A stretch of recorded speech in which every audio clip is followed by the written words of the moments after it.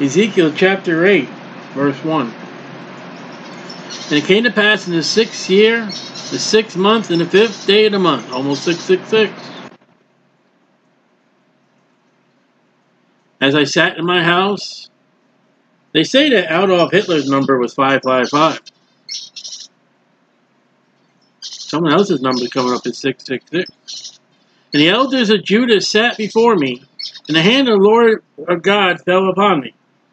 And I beheld, and lo, the likeness of appearance of fire. We talked about this. From the appearance of his loins even downward, fire. Our God's a consuming fire. So this is God. If you're going to see God, you're going to see God as fire. You're not going to see an image. He's a spirit. So when they made the movie Wizard of Oz, and when Dorothy then finally gets to see Oz, it's all fire. Satan knows the Bible. And one of his prophets is Hollywood. And from his loins even upward has appearance of brightness as the color of amber. We looked at that last time. And he put forth his hand.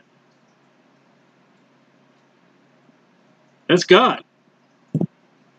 That's the Lord Jesus Christ. We looked at that. And took me by the lock of my head, and I said, I got one of it hurt. And the Spirit lifted me up between the earth and the heaven. Talked about that last time. And brought me the visions of God to Jerusalem.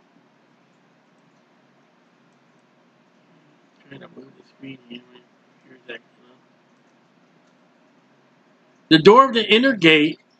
Now this is this is at the temple. But we're also at where Ahaz brought the image of jealousy in the altar that he had made. It's still there.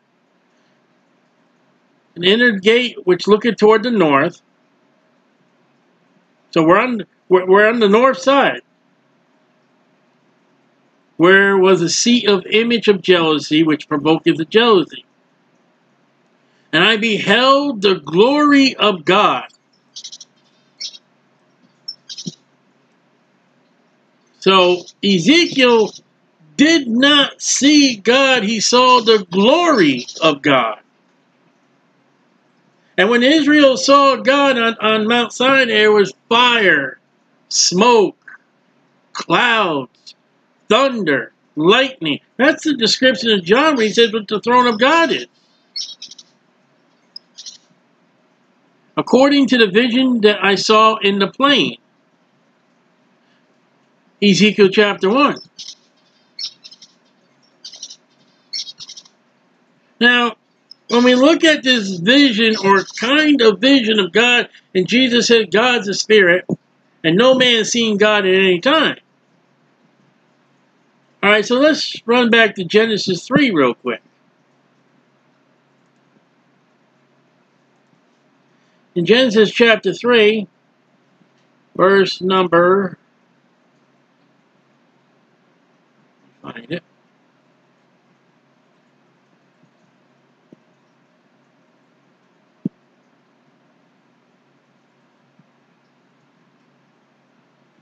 It said in verse 8, chapter 3, verse 8, And he heard the voice of God walking in the garden, the cool of the day. What do you do with that statement? God's a spirit. Here comes his voice, and his voice is walking. You know, and I hate to say it, but you know how well the devil is. You know what the closest thing you get to that? You get the teachers and the adults in the Peanuts cartoons. Wah, wah, wah, wah, wah, wah, wah.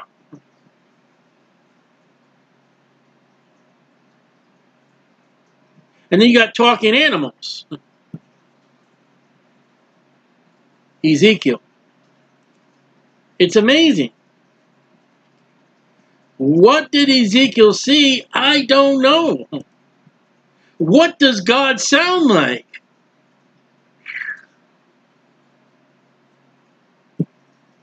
So, saw on the plain Ezekiel chapter 1.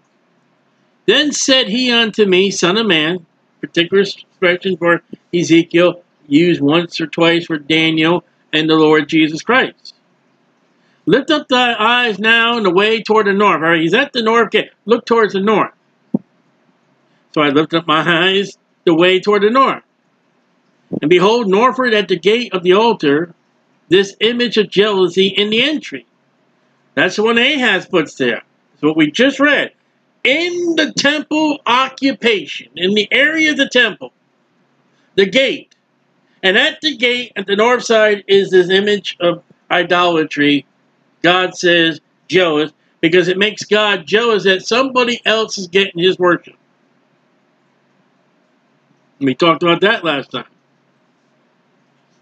But it gets better. I would think that some Baptist preachers would probably want to.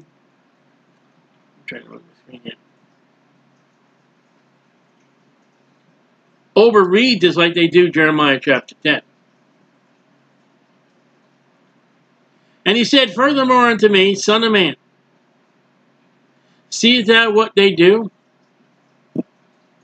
even the great abominations that the house of Israel committed here in the temple. Jeremiah spoke about that. I should go far off of my sanctuary. God's going to leave because he's going to have the sanctuary destroyed. He's going to allow the Gentiles in the holy places. Turn thee again, and thou shalt see a greater abomination. All right, he's looking north. Turn. Doesn't say how much to churn. And he brought me to the door of the court. And he's in the courthouse, courtyard. And outside the temple, there were little buildings, courtrooms. When I looked, behold, a hole in the wall. And you heard the hole in the wall, gang. Here it is.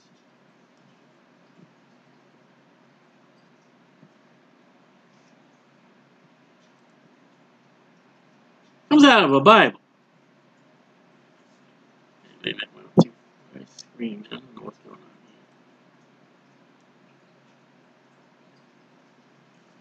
So, okay, where we back on?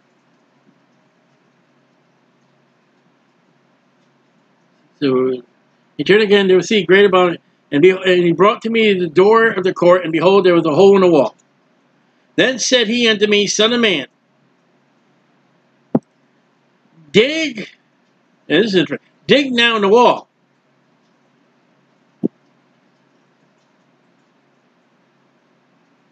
So he brought me to the door of the court. When I looked, behold, a hole in the wall. Son of man, dig down the wall. When I had digged in the wall, behold, a door. So the wall next to the door That hole relie relieves another door. Screen here.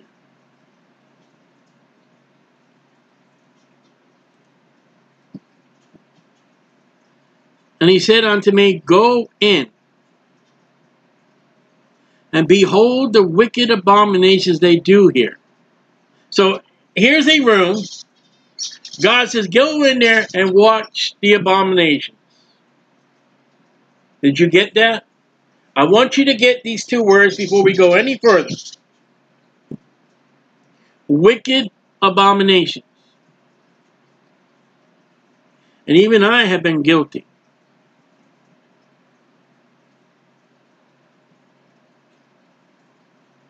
So I went in and saw. And behold, every form of creepy thing, insects, bugs, caterpillars, roaches, ants. Like the recent movies they've been putting out. Movies about ants and bugs and creepy things. We must be coming to the end times. Abominable beasts. You mean like the abominable snowman? Bigfoot, Godzilla, all these weird creatures that, uh, you know, the superhero fame. All the idols like American Idol actors, actresses, of the house of Israel. So here are all the gods. Here's all the abominable beasts and creepy things on the walls in this room, portrayed upon the wall round about. I'll give you two examples this could be. And I don't think I'm far off. Now, it's not going to be today modern, but, you know, we can't think these people are stupid. I mean, during this time and all that, they built the pyramids without without cranes, without caterpillar machines, without bulldozers and jackhammers. These people weren't stupid. Portrayed on the wall roundabout, what about a movie house? Movie theater. And up on the walls are these pictures and abominations and idols. And Jason and the Argonauts portrayed of all the gods of, of the Romans and Greeks. How about the gods of the of the Easter Bunny and all that, and the gods of S Satan Claus?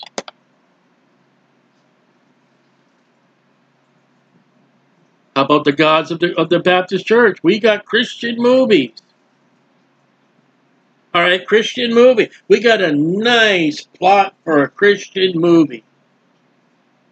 We even got police officers and and, and we got secretary. We got nice people in that movie portrayed. All right. That police officer that's in that movie, is he a police officer? No. That used car salesman, I, I got movies in mind. Is he a used car salesman? No. That investigator? No, not an investigator. is the main character who's married to the, the main character, are they really married in, in real life? No. And their kids that run around the house, are they their kids? No. The main character, I'm going to say Fred, is that his name, Fred? No. Married to Betty, is that her name, Betty? No. And they're in town such and such. Is that an actual town where they live? No. And then you got something that's surrounded by nothing but lies. We got a Christian movie built by liars who don't live where they are, liars who are not married to who they're married, liars who are not in the occupation they say they are, liars who are their names are not their names. If you took that to a courtroom before a judge, it would be found in perjury. But it's a Christian movie.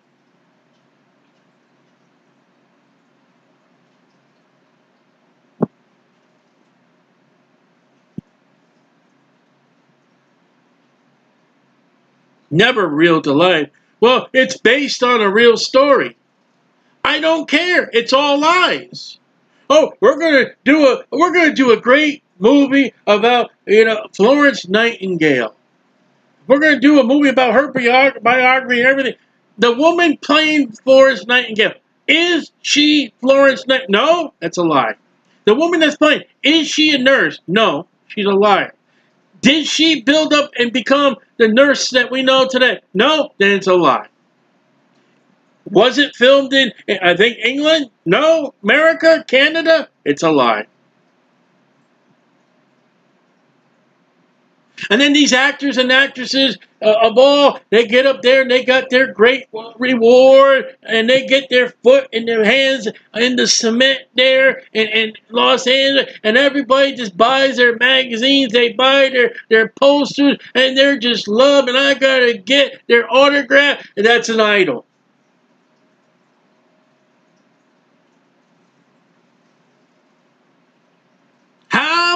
Many Christian homes, including the adults, that there is a poster or a picture of one of them idolaters, actors, actresses, sports, or whatever it happens to be.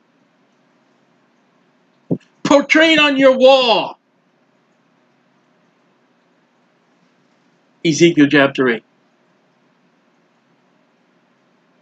Oh, church, we're going to sit down, we're going to have a movie, put up the, and, and put it on the screen up against the wall.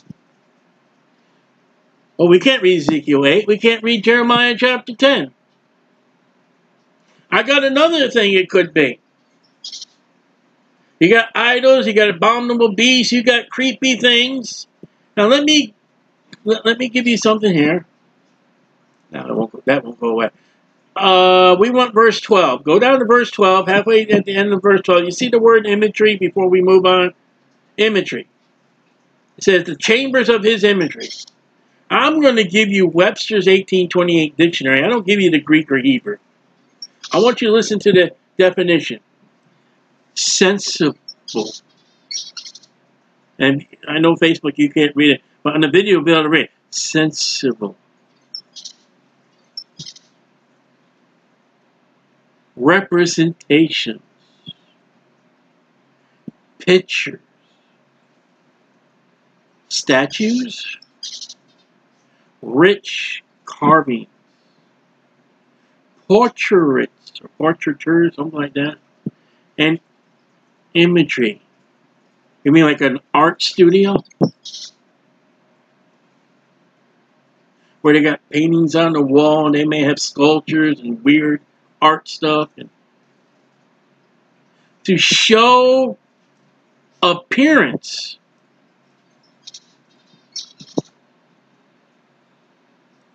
Forms of fancy false ideas imaginary phantasms. Hope i'm saying the word right. Representations in writing or speaking lively descriptions which impress the, image, the, the images of things of the mind, figures of discord. And how many, and I know there's a lot, Christian households have representation of the witchcraft of Harry Potter. I know pastors' children and grandchildren who have on their Facebook, oh, we have the Harry Potter books and the movies. You need to step down your uh, your pastorate. If you can't handle your, your children, you can't raise your children according to Timothy, and your children are involved in Harry Potter, you got to get out.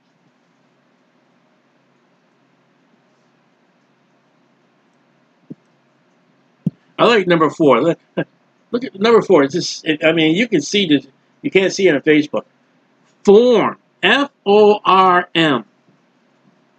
Make.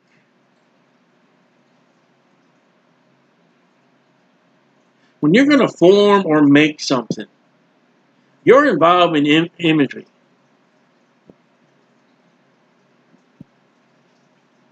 Make up, make believe. I thought that was interesting. I'm sorry on Facebook you can't see those things. So back to where we were, verse 10. So I went and saw and behold every form of creepy thing. Well, look at your movies.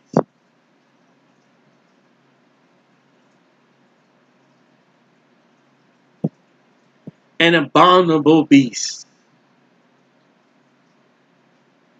Have you seen some of the some of the book, books and movies by Stephen King? Cujo. And all the idols of the house of Israel. All the idols. And we've read about them in Isaiah and read about them in Jeremiah. Oh, the the, the Tammuz, the the uh, uh, the the Queen of Heaven, Estar. That's the one I was trying to think of. You know, you may have Estar portrayed on your walls of your church. And it may not be the womanly figure. It may be her boobies. Because when you look at the image that they have in the, in, in the museums of the carved image of Esther, when you put eggs up around your church around Easter, you're putting her boobies up there because take a picture, look at on Google, say Esther, and you will see the woman in her image, and she's got all these eggs for boobies. And in your church, you portray on the nursery eggs for Easter, eggs in the Sunday school room. Ezekiel chapter 8.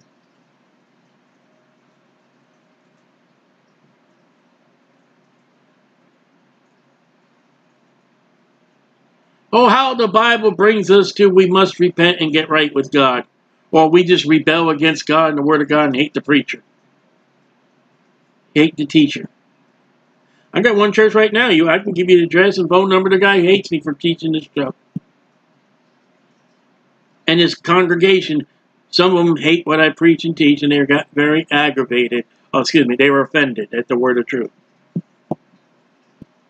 Portrayed upon the wall round about. I forget the panoramic. And you thought that the camera company, the panoramic camera, you thought that was something new. Uh-uh, Ezekiel 8.10.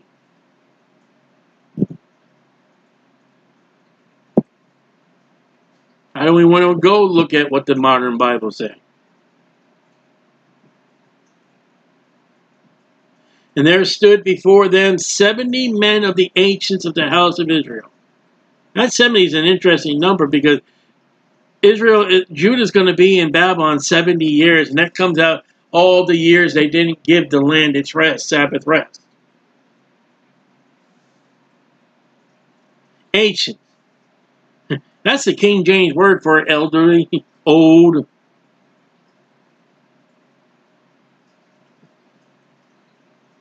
In the midst of them stood Jahaziel, and he's the leader of the 70. You should not call out the religion. You shouldn't name the religion. God did. Ezekiel did. There are 70 men there, and, and, and Ezekiel and God gives the name of the head honcho. You know Paul named him. You know Jesus named him. You know Peter named him. Moses named him. With every man's censer in his hand. That's what they carry the incense in. That's what the Catholic Church has. That's what the New Age has.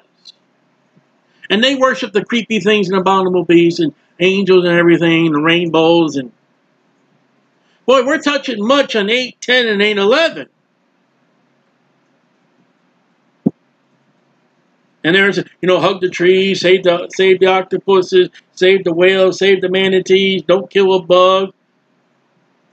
You mean Buddha? You mean India? They're starving to death. They're on television. Oh, send us money. Eat the hamburger. That may be grandma. Maybe grandma came back as a shrimp and she was eaten by a, by a shark. Or maybe she was taken to a seafood restaurant and eaten. Oh, God. Every man had censer in his hand, and a thick cloud of incense went up. You mean smoking? There was, I remember a time you could bring, you can come into it. When I grew up, you can go into a movie house and you could smoke. You could smoke in the hospital when I grew up. You could go down into the into the lobby, to the cafeteria, to to the, the gift shop. You could buy cigarettes.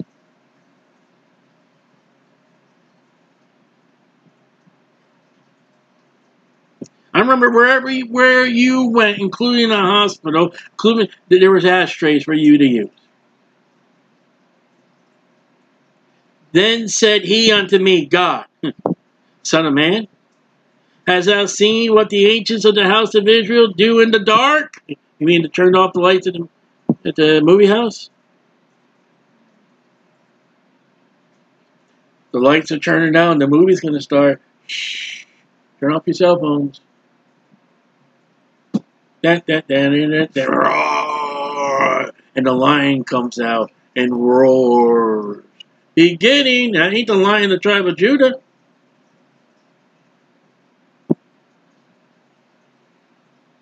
Because that lion ain't named Jesus, it's named Leo. He's a consolation. Israel worshiped the host of heaven. Wake up and study your Bible. Every man in the chamber of his imagery. I just gave you the definition. Your art studio or your movie house. For they say, The Lord seeth not. The Lord has forsaken the earth. God has, you know, the, at the preaching of Jeremiah, the people, all right, God's going to kill us, God, God's going to wipe us out. So let's eat and drink and be merry and, and do whatever we want to do.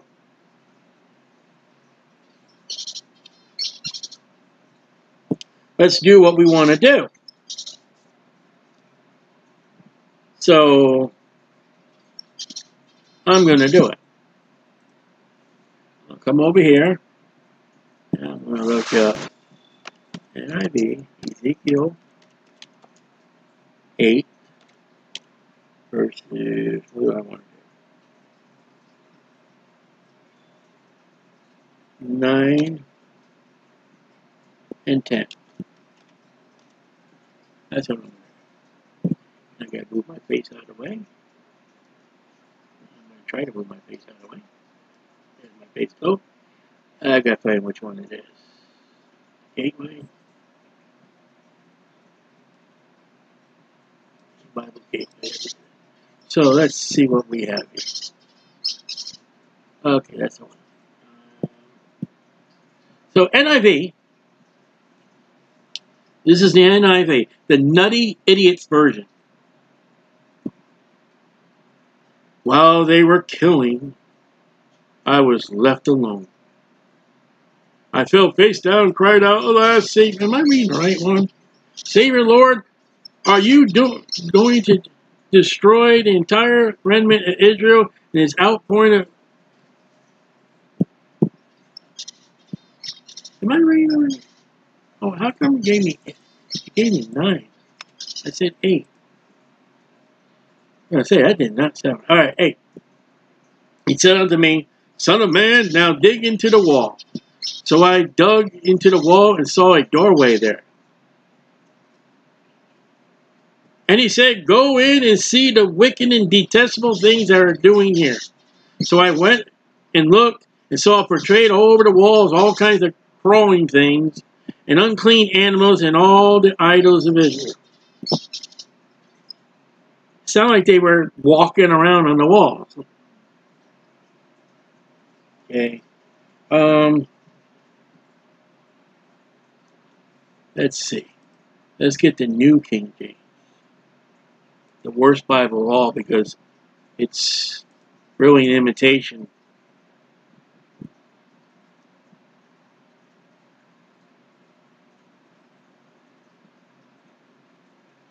he said to me, Son of man, dig into the wall. And when I dug into the wall, there was a door. He said to me, Go in and see the wicked abomination which they are doing there. So I went in and saw there every sort of creepy thing, abominable beast, and all the idols of the house of Israel portrayed all round on the walls. Okay. Now, let's see if I can find it. The good news. Bible laugh. He said to me, Mortal man, break through the wall here. I broke through the and found a door. He didn't say break the wall. He said, dig a hole. He told me, go in and look at the evil, disgusting things they are doing there. So I went in and looked, and the walls were covered with drawings of snakes and other unclean animals. I'm glad he knew what the Bible could. Creepy things could have been roaches and and of all the other things which the Israelites were worshiping. Whew, that's messed up. Okay, let's see we can have a one more. The Common English Bible. He said unto me, human one. About what they say about Jesus? Because Jesus is called the Son of Man too. Dig through the wall, so I dug through the wall and I discovered a doorway. Big difference between a doorway and a door. You can have a doorway with no door. And he said to me, Go in and see what wicked and detestable things they are doing in there. So I went in and looked and saw every form of loathsome beast and creepy thing. Well, the beast made it first before the creepy things. And all the idols of the house are engraved on the walls round about. It's far away from what God said. So what we have here is a of today we have a movie theater that Christians go. I've been guilty. I've gone to some of the movies. And or an art exhibit, which I've gone.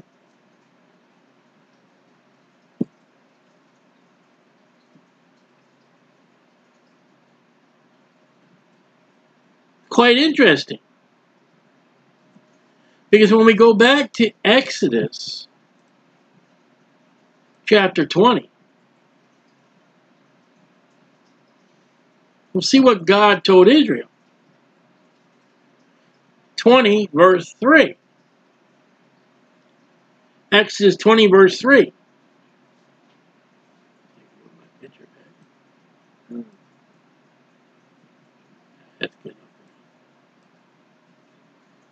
Thou shalt have no other gods before me. Thou shalt not make unto thee any graven image. Aaron did. After God told him not to make a graven image.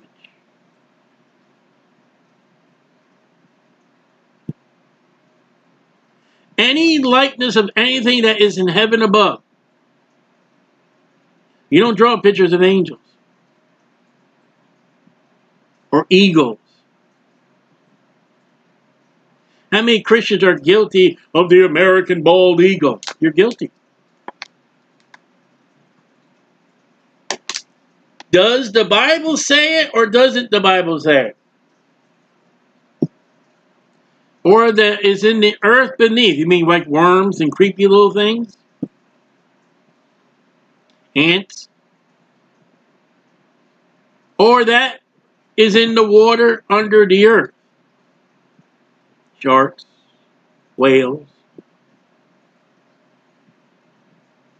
You know, for, for the realm because I draw too.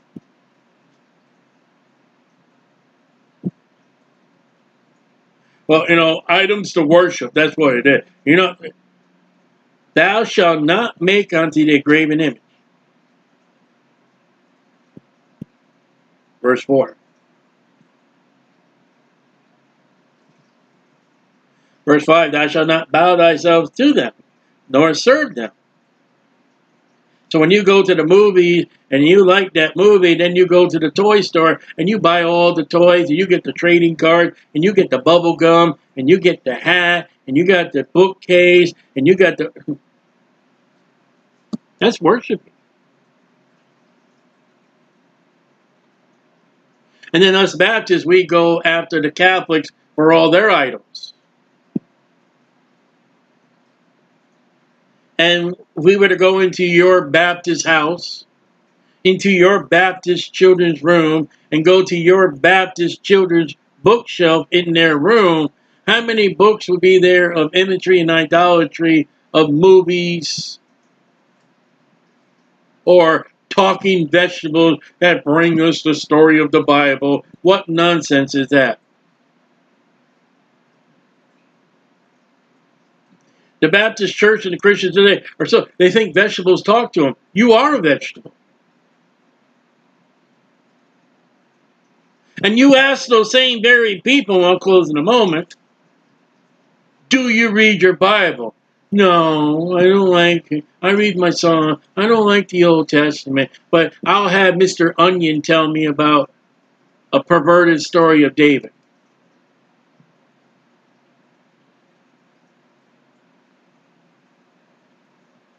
Because you can't tell the truth. You might offend the Philistines. Or the children of the people of, of you know, Gaza.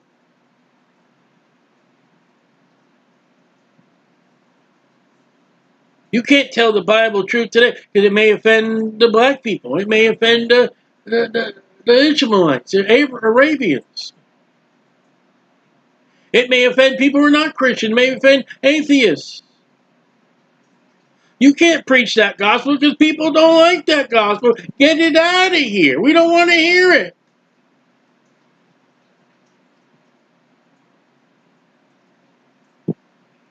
And Jesus said, Marvel not, the world hates you. Know that it hated me first. We've got a story here in Ezekiel. I mean, do we, are we not guilty of movies and art? We are.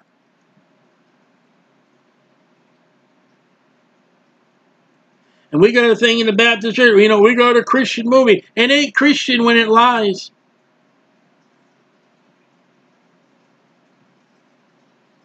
And then the Christians get upset when I speak this truth.